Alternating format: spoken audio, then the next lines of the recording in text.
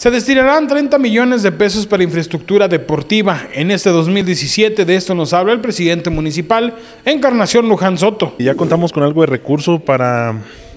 para iniciar algunas obras deportivas que son necesarias aquí en el municipio y que, bueno, vamos a estar trabajando gracias a los, a los diputados federales, a Oniel García Navarro y a la diputada Ali Gamboa, pues logramos obtener 30 millones de pesos, de los cuales estarán ejerciendo este año, yo creo que a partir de marzo, finales de marzo llega el recurso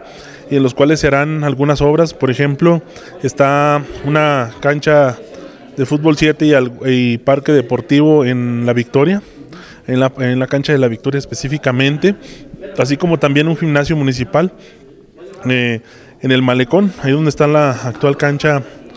que, bueno, tiene poca utilidad y el otro es un edificio del DIF municipal que estaremos trabajando en la antigua estación de bomberos. Esas son las obras, algunas de las obras que se van a estar trabajando y estamos buscando espacios para realizar otros, vaya la redundancia, espacios deportivos dentro de la de la de la cabecera municipal y en algunas otras poblaciones de mayor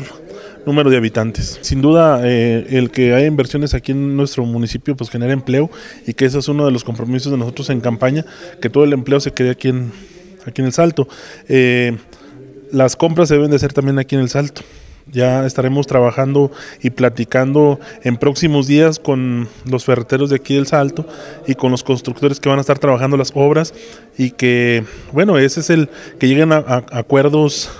ellos y que sea abierto a la prensa, que, que, nosotros no queremos meter la mano por abajo de la mesa, sino que todo sea por arriba de la mesa y que lleguen a un entendimiento y puedan comprar todos los materiales aquí en, aquí en el Salto.